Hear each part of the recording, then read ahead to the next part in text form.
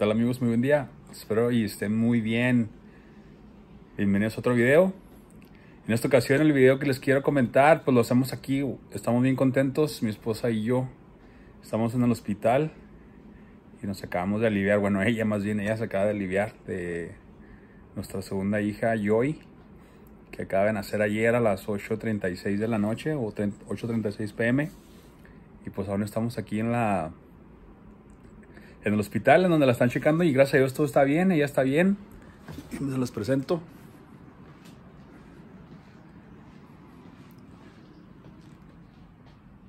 Y les presento a Joy. Dile, hola. Entonces estamos aquí pues todavía en la, en la habitación del, del hospital. Nada más para pues checar que todo esté bien y luego a lo mejor ya hoy en la noche o mañana en la tarde ya nos vamos a, la casa, ¿no? Y quería pues, aprovechar que estamos aquí todo el día, ¿no? Porque pues, prácticamente no estamos haciendo nada más que estar aquí. Eh, están atendiendo a Hannah y están atendiendo a la niña y yo pues nada más estoy por si cualquier cosa se ofrece. Entonces, quería pues hacer un video. Eh, estaba pensando ayer en la tarde porque eh, empecé a leer un libro que lo recomiendo mucho. Eh, se llama El, Evangelio según Luzbel de Juan Manuel Zunzunegui. Y no, no crean que es el, no crean que es el Evangelio del Diablo o algo así satánico o, algo así, ¿no? Porque la otra vez lo puse en el, Facebook y ya te imaginarás, ¿no? Todos los compañeros cristianos ahí, ay, qué triste que te hayas dejado llevar por esas cosas y pero no, no, no es el, no es el, el Evangelio del Diablo, es como una, es, se llama aquí una fábula mística.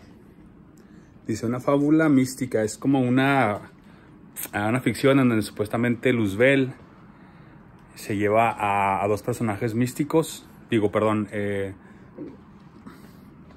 perdón, dos personajes míticos y los lleva a través del tiempo y les explica cómo es que la humanidad llegó hasta cómo está ahorita, etcétera. Entonces, durante ese proceso, pues él te va acá platicando los, los procesos de, la, de las culturas, las diferentes mitologías de los pueblos, cómo una fue influenciando a la otra. Este, y, y está muy padre porque te, te, te, da muchos datos y te, te pone como que un plano muy general de cómo fue que sucedió la historia en el mundo, ¿no? En cuanto a lo, en lo cultural, en cuanto a lo eh, religioso, poco de político también y, y eh, obviamente también lo filosófico. Entonces pues lo recomiendo bastante.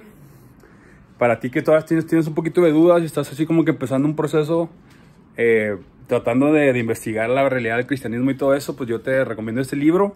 Te pone una, un panorama muy amplio para empezar a entender un poquito mejor cómo fue que eh, el cristianismo tomó eh, aspectos de otras culturas para formar su propia, vamos a llamar su propia teología, su propia historia.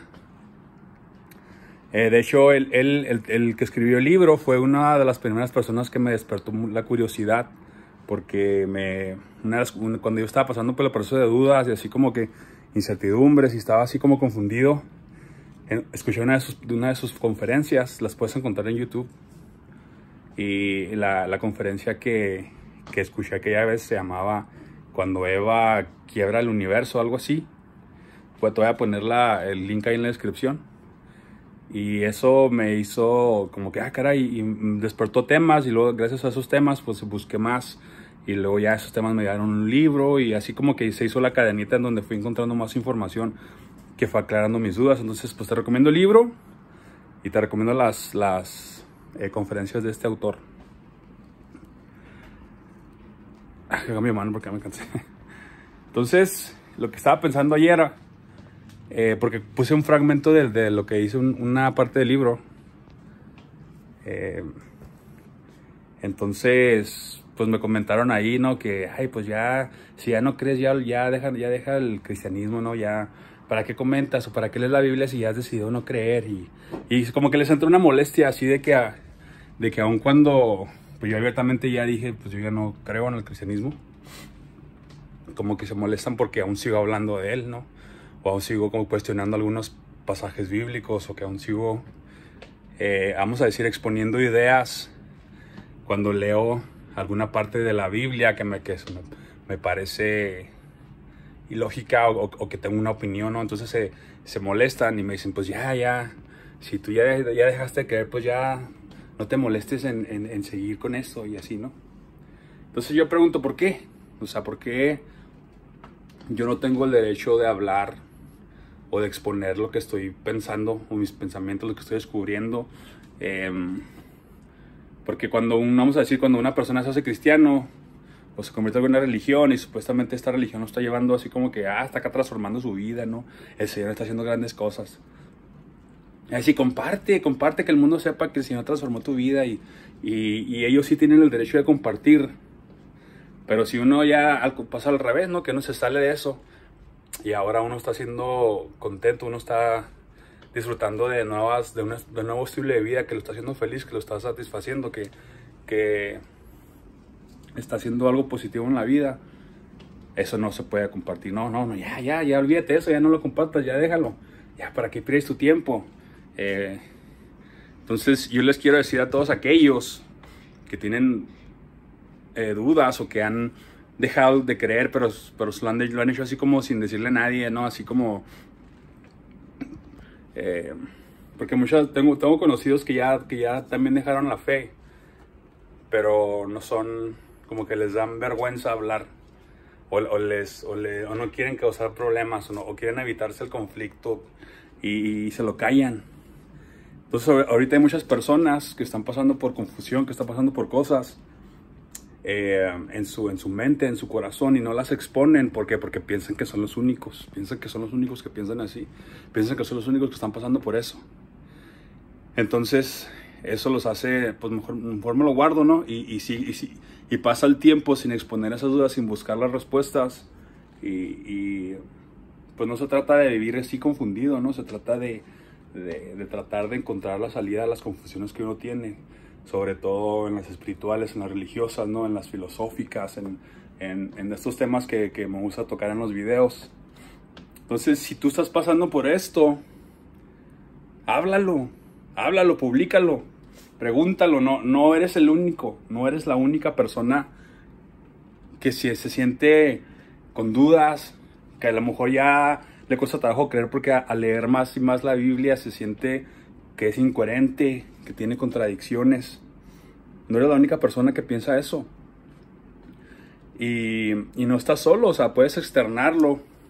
Porque yo cuando lo empecé a externar, porque a, mí, me, tuvo que empezar a valer, o sea, dije, nada, ni modo, o sea, pues si no les gusta, pues ni modo, que se ofendan, que se ofendan, pues tú sales poner yo mis dudas, pues hacían los debates y muchas veces a, raíz de esos debates eh, encontraba ciertas respuestas o podía eh, entender un poquito mejor el, carácter de un religioso que no tolera que otra persona piense diferente a él.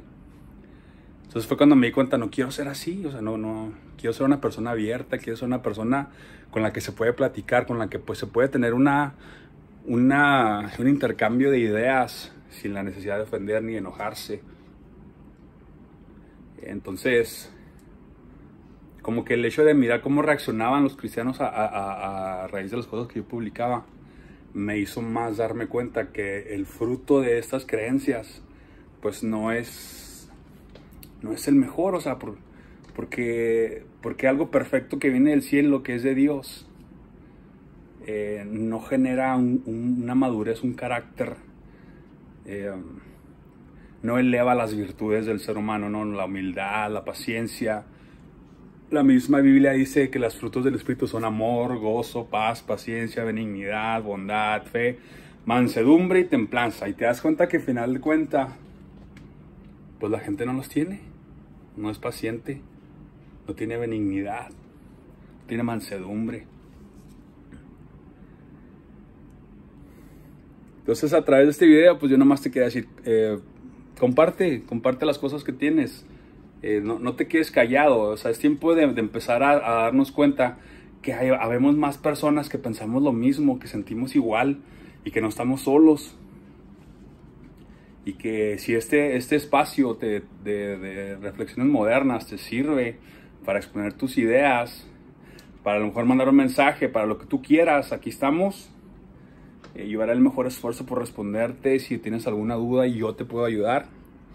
Eh, voy a estar respondiendo, eh, perdón, voy a estar publicando más libros, recomendando más libros que puedan a la gente leer en su proceso de, construcción de la religión, en su proceso de sacarse esa, esa programación que, nos meten en la cabeza como, que un, como, como una programación de un chip que nos es difícil quitarnos, ¿no? Que, que, por ejemplo, yo todavía batallo a veces para hacer decir expresiones así cristianas y, y, eso es lo que es, una desconstrucción, una deconstrucción de la religiosidad, del engaño que, que nos tenían. Y es un proceso a, la libertad mental para poder acceder a un, mejor conocimiento del universo, de, de, cómo podemos conectarnos con Dios, que obviamente no el Dios religioso ni cristiano, que es el producto de la combinación de varias culturas, sino el, misterio del todo, el misterio de la existencia. Eh, ¿Cómo podemos llegar al misterio de la existencia? Que podemos llamarlo Dios, si lo, puede, si lo quieren llamar así. Aunque no quiero decir Dios, porque cuando digo Dios la gente siempre piensa que es el Dios religioso. Pero yo me refiero al, misterio de la existencia, por, de, que le da vida a todo, que hace que las cosas funcionen, que hace que, que los elementos estén activos, que, que hace que el, plan, los planetas giren alrededor del Sol, que hace que, que haya vida, ¿no? explico? O sea, hay, hay, algo. Y de hecho, próximamente estaré haciendo un video que se titula eh, Sin principio y sin fin. Dios o la materia. Entonces, o Dios y la energía, o sea, porque es materia-energía, es una dualidad, ¿no? Como espacio-tiempo. Y pues bueno, este, estaremos haciendo más videos. Eh, pero pronto estamos aquí todavía en el hospital, contentos por, por Joy, que ya está con nosotros. Y espero y estés muy bien. Cualquier duda, cualquier pregunta, ya sabes, con confianza. Cuídate, hasta pronto.